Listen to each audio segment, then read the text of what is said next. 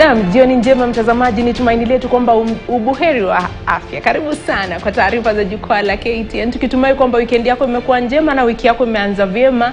Karibu sana, tuangazie taarifa ambazo zinazidi kugonga vichwa vya habari, hususan kuhusiana na operesheni ya usalama ambayo inaendelea sasa hivi katika maeneo ya kaskazini mwa bonde la Ufa. Majangili ambao wamekuwa wakiwahangaisha wakazi katika maeneo hayo. Tunajua kuna makataa ambayo ilitolewa hapo jana ambao imekamilika leo na wakazi tayari wameanza kuondoka maeneo hayo. Wewe binafsi unaridhika na mikakati ambayo inatumiwa na serikali katika kuwakabili hawa majangili, na ni lipi la ziada ambalo ungependa kuona likifanywa au likitekelezwa ili kuweza kuwakabili na vile vile kuweza kulinda maisha ya raia ambao sasa hivi wengi wao wanasema hawajui waende wapi. Uh, tutakuwa tukiangazia swala hili kwa mapana hata zaidi, lakini pia tungependa kusikia sauti yako. Kushiriki ni rahisi, tuelekeze kauli yako kupitia nambari 22155 bila malipo yoyote kwenye mtandao wa Twitter at Zubeida Kananu at KTN News KE ukitumia hashtag jukwaa la KTN. Tutakuwa tukisoma kauli hizi baadaye kwenye mjadala huu. Tutakuwa naye Enoch Makanga ambaye ni mtaalamu wa masuala ya, usalama na vile vile tutakuwa naye uh, Otieno Namwaya ambaye ni mkurugenzi mkuu wa Human Rights Watch East Africa.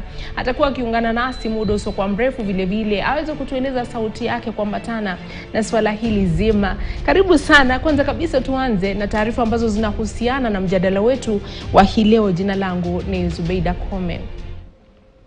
Saa chache baada ya makataa iliyotolewa na waziri wa usalama Profesa Kithure Kindiki kwa familia zilizoko maeneo yaliyoorodheshwa kuwa maficho ya majangili kukamilika, mamia ya familia kaunti ya Samburu zimeanza kuondoka maeneo hayo. Miongoni mwa waliohama makwao ni wale wanaoishi maeneo ya Lolmolog na Longewan ambao wanasema kwamba hawana mahala pa kujisitiri. Walioathirika zaidi ni wanawake na watoto ambao wanaishi uh, uh, wanaiomba serikali kuwatengea mahala mbadala pa kuishi. Baadhi ya waliohama makwao na wamehamia maeneo ya Sukuta Mamar ambako wanasema kuna amani na utulivu. Vilevile wanaiomba serikali kuwapa chakula kwani kiangazi kinachoendelea kimewanyima cha kutia mdomoni. Kindiki alikuja hapa aliongea maneno yote, lakini mpaka saa hizi hakuna kitu linafanyika. Sisi bado tunauliwa tu. Right now we are heading to Suguta, hatujui ni nini naendelea huko, tumetoroka kabisa. Wow, utazama area hii leo, unaona watu wametoroka kabisa. So kwa leo sisi kama Samburu West hapo area ya Longewan tumeweza kuhama, tunaelekea saidi ya Suguta na pia bado hatujajua amb- yale ambayo yatafa- yatafanyika tunapozidi uh, kwenda mbele. Ana- natoroka hapa kwa sababu serikali anakuja kupiga mimi na serikali na pokoto pamoja na Pokot nakujanga hapa nakuja kupika mimi Kwa hivyo kutoka leo hakuna mtu anaishi Longewan, hakuna mtu anaishi Lolmolok. Tumekuwa tukijaribu kuambia watu wakae tu kwa sababu serikali wako, lakini imekuwa sasa, hata mimi nimeshindwa nitafanya nini. Watu wametoroka na ijulika, hata idadi ambayo watu wameenda ni watu wengi sana. to give a 24 hour notice ultimatum. We have ordered anybody in the places that I've mentioned, everyone must get out between now and tomorrow morning. And any person who is found in the places I've mentioned after tomorrow morning will be dealt with as a bandit suspect. Ndio makataa iliyotolewa hapo jana na waziri wa usalama wa taifa, na leo hii tumeanza kuona familia zikihama makwao, wengi wao wakisema kwamba hawajui wanaenda wapi.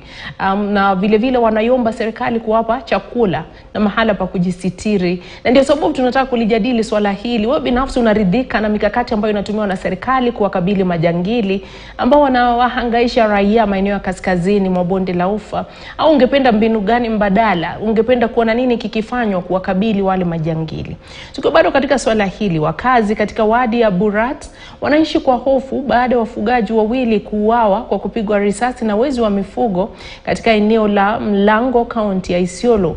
Mauaji hayo yanatokea wakazi uh, wa eneo hilo wakiwa bado wanaomboleza mauaji zaidi ya watu kumi ambao wameshuhudiwa um, ambayo yameshuhudiwa katika kipindi cha miezi miwili tu. Wakazi wanadai kwamba visa vya utovu wa usalama vimeendelea kuongezeka kutokana na kile wanachodai ni uwezi wa mifugo ambao wametorokea kaunti ya Isiolo kufuatia operesheni ya usalama siku- inayoendelea katika kaunti ya Samburu na Laikipia. na hakuna hatua mmefanya. Tumeenda simu na 3 days ya usalama na bado gavana alisema atachukua hatua, na leo nilipigia bwana DC wakati watu wetu waliuliwa, nilimpigia simu nikamwambia tutumanie askari, na hakuna askari yoyote amekuja ambaye amechukua hatua.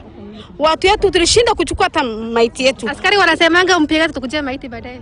mchana tulimwambia uwaisi watu ya Burad ni uwaisi, anabeba mahali ya Samburu ndo aliuawa, ikuwa uwaisi hawa, hakuna wakati anasobotiwa uwaisi.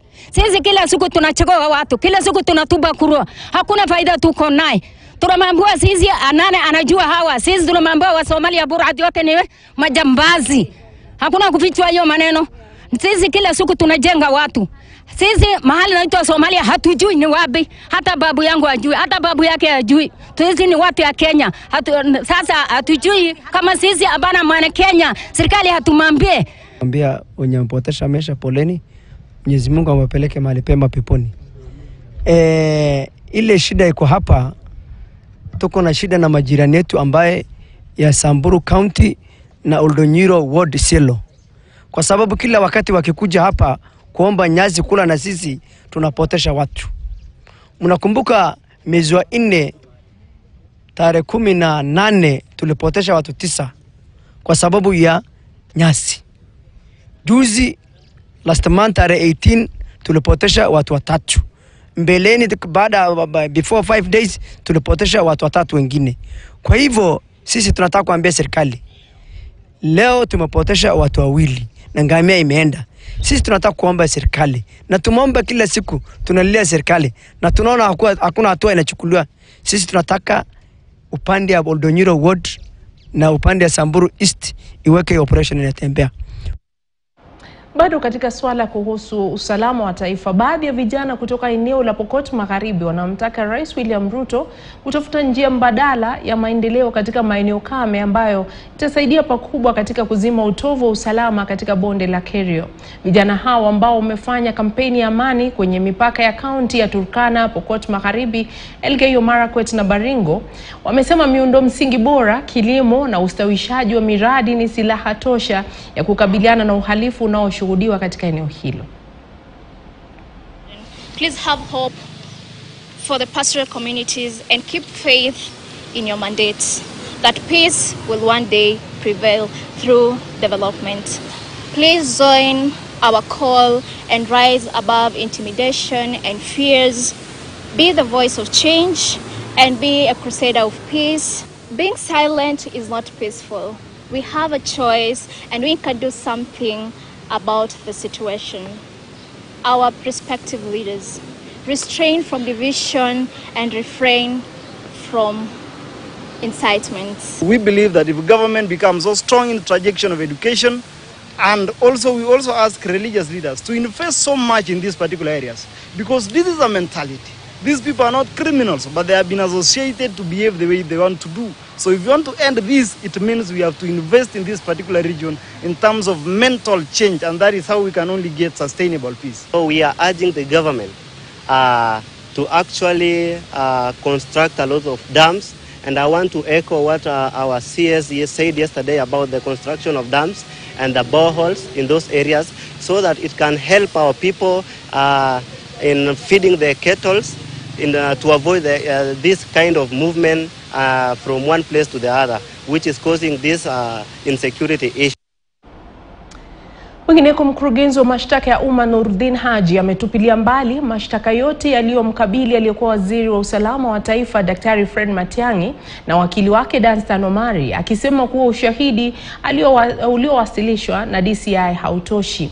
Katika taarifa iliyotolewa na naibu mkurugenzi wa mashtaka ya umma Lilian Obuo, DPP anasema baada ya kufanya uchambuzi na uchunguzi na ushahidi uliowasilishwa mbele yake pamoja na taarifa za mashahidi amebainisha kubaini kuwa ushahidi huo dhidi ya Matiang'i na wakili wake Danstan Omari hautoshelezi viwango vya kuwafungulia mashtaka.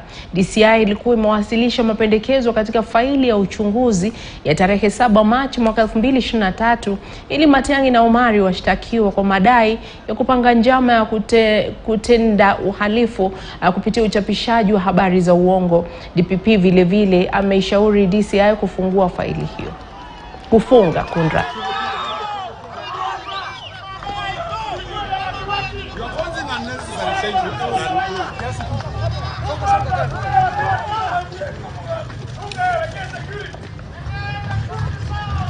Cannot block the Please, give way.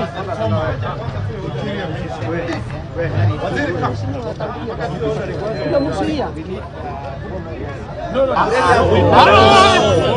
contention for nothing. These are your former ministers. Peana njia, peana njia tafadhali. Naam, kwenye taarifa zetu za saa moja Maria Atwoli atakuwa akikuletea taarifa hizi na nyingine nyingi kwa kina, kwa hivyo tegea.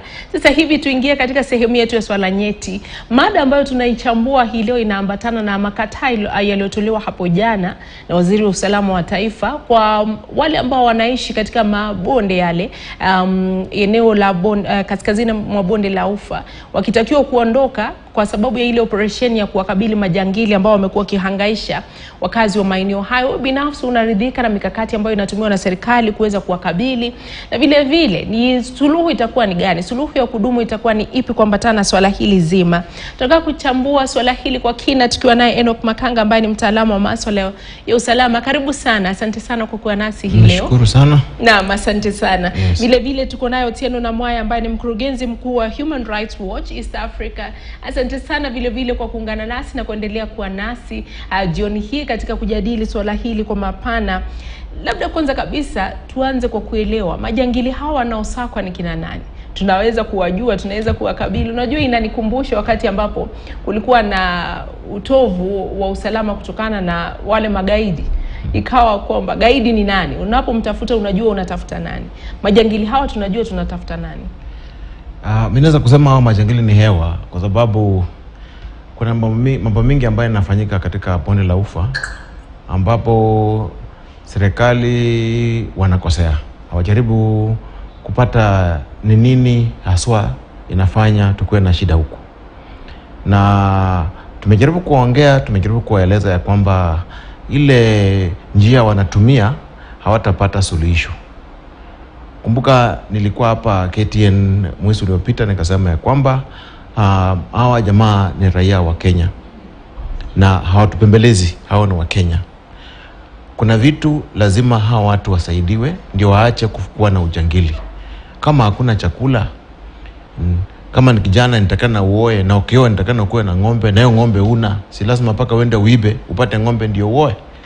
So hawa watu wako na mashida ambazo zisipoangaliwa kwa ki, kikamilifu kutakuwa na shida kubwa sana, na tutaendelea kupiga watu, tutaendelea kupiga watu, lakini mwishowe tutakuwa tunawaita wajangili, lakini haita tatua ile shida tuko nayo. Wacha nikupatie mfano. Nimekuwa Uganda, nimekaa Uganda karibu miaka karibu tano, na nimeona vile Karamoja waliweza kusaidiwa. Hao watu walikuwa hatari, moto ya kuotea mbali. Wacha wetu, hawa walikuwa hatari, moto kuotewa mbali, lakini rais wa Uganda alijaribu kutumia mbinu kama hizi hazikufanya kazi, lakini wakati alikuja kuchukua jukumu ya kwenda kutumia, kitu cha kwanza ni ukeuze mawazo yao. Umeona vijana wakisema ya kwamba mental, mental thinking, ukeuze maneno ma, vile wanafikiria hii maneno, uanzie kwa mashule ya kwamba watoto wajue kwamba wakikua kuna namna ya kwenda kupata kazi sio mambo ya kwenda kutafuta bunduki, kwa sababu ukienda kule mtoto ukimuuliza, wana ukiwa mkubwa uh, ni kitu gani ungependa kununua, atakwambia mimi ninge, ningependa kununua AK47. Kwa sababu gani? Sasa hiyo ndio kitu ambacho ina inapika katika kichwa kichwa yake, mafikiro yake anafikiria mambo ya, ya bunduki. So tusipokaa chini kama Wakenya tujaribu tufikirie hili jambo kwa kindani, hata tukienda tuweke majeshi waende wakae huko, majeshi wangapi, uh, ili jambo halitamalizika. Hebu nitarudi kwako kwa ufafanuzi zaidi. Tuende kwake um, Bwana Otieno ambaye um, anafanya kazi katika shirika ambalo linatetea haki za binadamu uh, Human Rights Watch East Africa. Je, Otieno, uliposikia hapo jana waziri akitoa makataa kwa wenyeji wanaoishi katika maeneo ambayo alikuwa analengwa kwenye operesheni hii, nyinyi kama watetezi wa haki za binadamu mlisikiaje? Uh, Na mnapoona hali ambayo imeshuhudiwa hii leo, watu tayari washaanza kutoka makwao, uh, ndio hawa wanauliza wanaenda wapi? Je, kama watetezi wa haki za binadamu, hisia zenu ni gani kuambatana na swala hili zima? Asante sana Zubeida. Um, hili ni jambo ambalo limekuwa likizungumziwa na serikali kwa muda mrefu na makataa ya masaa ishirini na nne ni muda mfupi sana kwa familia kujitayarisha na kutoka kule ndani na kupata mahali pa kuishi na chakula ya kukula. Na hayo makataa serikali imetoa na haijasema hiyo operesheni itakuwa ya muda gani. Kwa hivyo familia zikitoka kule zikienda kutafuta mahali pa kuishi, uh, watu wanafaa kuelewa wanaishi kwa muda gani. Wanaishi kwa mwezi mmoja, miezi miwili ama muda gani? uh, bila bila um, serikali kufafanua ni muda gani wanafaa kutoka kule na kutafuta mahali papya pa, kuishi, huenda tukawa na uh, tuseme uh, humanitarian crisis kama mgogoro wa, wa kibinadamu, yaani watu watakosa chakula uh, mahali pa kuishi. Unajua, ukiamliwa tu kwa masaa manne ishirini na nne utoke mahali unaishi alafu uende mahali haujui unaenda wapi, hapo tunaona kuna kutakuwa na ukiukaji mkuu wa, wa hali za kibinadamu. Uh, Jambo la tatu tunaona ni kama serikali inachanganya mambo mawili tofauti. Kuna ile wanaita banditry, yaani majambazi, na kuna terrorism, yaani ugaidi. Hayo mambo ni ma- mambo mawili tofauti kabisa, na serikali inafaa kuenda pale kufanya kile ilikuwa imeenda kufanya, ni kutafuta majambazi ambao wamekuwa wakiangaisha wa, wananchi na na, na wezi wa mifugo, na hilo ni jambo ambalo limekuwa likiendelea kwa muda mrefu. Hatufai kuchanganya hayo maneno mawili, haswa tukielewa ya kwamba wakati serikali ilikuwa inafanya operesheni ya kutafuta magaidi uh, kulikuwa na ukiukaji mkuu wa hali, wa hali ya kibinadamu. Na kwa hivyo binafsi kama watetezi wa haki za binadamu uh, wakati operesheni kama hii inapoanzishwa, ni mikakati gani ambayo inastahili kuwekwa kabla hata operesheni yenyewe kuanza? Kwa sababu si mara ya kwanza tumeona operesheni ya usalama ikifanyika nchini, na umesema wakati ule wa uh, awali haki za binadamu zilikiukwa. Je, ili kuzuia haki za binadamu kukiukwa, ni mambo kama yapi ambayo yanastahili kuzingatiwa? Kwanza kabisa ni muda wa makataka. Ikiwa uta, uta, utahitaji watu waondoke mahali wamekuwa wakiishi, lazima upeane muda wa kutosha. Uwezi kuamka siku moja alafu unasema kwa masaa ishirini na nne mmetoka pale. Jambo la pili, familia zikitoka pale, ujue pale ni mahali kuna kila kitu. Kuna nyumba zao ziko pale, ch- chakula chao wanatoa pale, uh, labda matibabu, shule ziko pale. So lazima ujipange, utoe mpangilio mwafaka ya kusema ya kwamba familia zikitoka hapa, kama serikali tutakuwa tunapeana usaidizi fulani na fulani, lakini serikali imetoa makataa, haijapeana muda wa kutosha, haijafafanua watu watatoka pale kwa muda gani, na hakuna usaidizi imesema itapeana familia. Hebu nitarudi zaidi Makanga, ha, kabla ya operesheni ya usalama kufanyika, ni vigezo gani ambavyo huzingatiwa? Na tunaposema operesheni ya usalama, ni operesheni ambayo vigezo vyake huwa nini? Like huwa inafanyika vipi, na nani ambaye huhusishwa? Ni polisi wa kawaida, ni wanajeshi, au inafikia wapi ndio wanajeshi watumiwa kwenye operesheni? Um, ni polisi ambao wanashughulika na hii operation, lakini um, sheria inasema ya kwamba wanajeshi wanaweza kuja kusaidia uh, na I think tangu tuseme wiki tatu wiki mbili hivi uh, uh, ami wameenda kusaidia polisi, lakini sasa jambo la kuhuzunisha ni kwamba vile mwenzangu amesema, unajua raia ukimwambia kwamba atoke kwake nyumbani, unajua watu wengine ni wamama ni watoto, na unawaambia watoke, sasa watoke waende wapi? Uh, ukiniambia mi nitoke mali nimekaa kule ushagoni uniambia nitoke nitaondoka niende wapi? Na watu unajua ni binadamu so ukisema kwamba watoke waondoke waondoke ndio wataondoka lakini wataenda wapi sasa hapo ndio naona ya kwamba vile mwenzangu anasema ya kwamba yes ni operation ya kwenda ku, kutafuta wahalifu. Na hao wahalifu labda wako ndani ya watu. So labda mpaka tutumie mbinu ya kuweza ku eh, mwangalie tuone ya kwamba nitawapata watu kwa njia namna gani bila kuhatarisha maisha ya wananchi, kwa sababu tukiendelea namna hii itamaanisha kwamba kuna wale watakufa, kuna wale watashikwa na ugonjwa, watoto ambao watakataa kwenda kusoma ama wataenda kusoma kwa sababu sasa, unajua mahali walikuwa wanasoma sasa wamepatilishwa, na unajua kule, unajua kupata shule utapata shule moja kutoka hapa, ingine iko kama Thika, ingine iko kama Nyeri, so unapata kwamba hao watu ukimtoa mahali pamoja umpeleke mahali ingine, basi atakuwa na maisha yake ya kawaida inapatilika kabisa. Na mm, tuseme ya kwamba ni e, waziri waziri wa usalama ako na watu yake wako on the ground, watu ambao wanaangalia waone ya kwamba um, usalama inakaa namna gani, na wakifika mahali waone ya kwamba ni hali ya hatari, basi hapo ndio wanaweza kusema ya kwamba raia watoke. Lakini naye ukiangalia sasa vile tunakaa kule hili jambo la hawa jamaa sio jambo nzito sana, ni jambo ambalo polisi wa kawaida, polisi wa GSU, polisi wa Unstock Theft Unit wakipewa vifaa vya kisasa, wapewe magari, wapewe chakula, wapewe helikopta, hii kazi itamalizika within no time. Lakini sasa unapata ya kwamba eh, huku polisi wanapelekwa kule, hawana vifaa Ha? Nilikuwa mwandishi mmoja anaambia wanakutana na hawa jamaa hawana chakula, umeondoka um, station umeenda kwa, kwa, kwa, kwenda kwa mahali huna chakula, huku jeshi wakiondoka wana, wanaondoka wakiwa na vifaa vyote. Unapata kuna chakula ya Twix, wako na maji ya Twix, wako na lori tank ya Twix, wako na helikopta kuja kuwasaidia chini kwa juu. Lakini sasa unapata polisi wanaondoka tu ki- ki- kiholela holela kwenda kule, ndio unapata ya kwamba sasa kwa sababu hawa jamaa hawa majangili wako chini kwa chini, wanatumia msitu, so unapata ya kwamba wa, wanaweza kuwaona na wanaweza kuwapa wanaona kwamba kila wakati raia wanawawa, kila wakati polisi wanawawa. Si ati polisi wawezi, ni kwa sababu vifaa ambavyo polisi wanapewa wakati wa sasa budget inatoka, lakini on the ground, ukienda on the ground utapata kwamba magari zile ziko hazitoshi, mafuta ile iko haitoshi, chakula ile iko haitoshi, maji ile iko haitoshi, vifaa vya kulala, vitu kama sleeping bags hakuna. Polisi anaondoka tu anaenda namna hiyo, hana sleeping bag hana nini. So vitu kama namna hivi vikiangaliwa, ningeambia waziri ya kwamba waangalie hii vitu kama inafanyika internationally ili police officers wale wako on the ground wapewe vifaa ambavyo vinatakikana. Hii kazi itafanyika na it, it, tutaona ya kwamba usalama umerudi katika hiyo area, lakini kwenda kuleta jeshi wanakuja, we are spending pesa mingi kwa njia ambayo hata mimi sioni maana yake. Hiyo pesa ingechukuliwa tu ipatiwe tu GSU. GSU ndio kazi yake hiyo ndio ukiangalia katika act ya, ya polisi sasa, hiyo ndio hiyo ndio area ambao wamesomea. Sasa hawa watu wakipewa hiyo- vifaa, wapewe kila kitu, alafu wasaidiwe na helikopta ya kujaribu kuwasaidia kutoka juu, watumie drones, hii kitu itamalizika within no time.